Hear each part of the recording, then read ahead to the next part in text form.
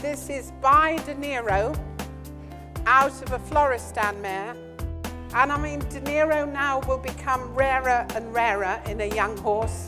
He's very old. He was quite ill last year, and I think we all thought he was going to die, and then he didn't.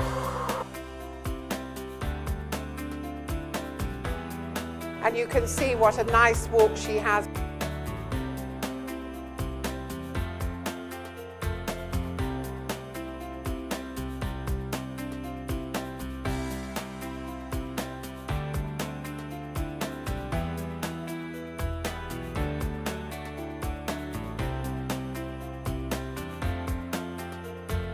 Um, she's mature enough to be put in foal this year.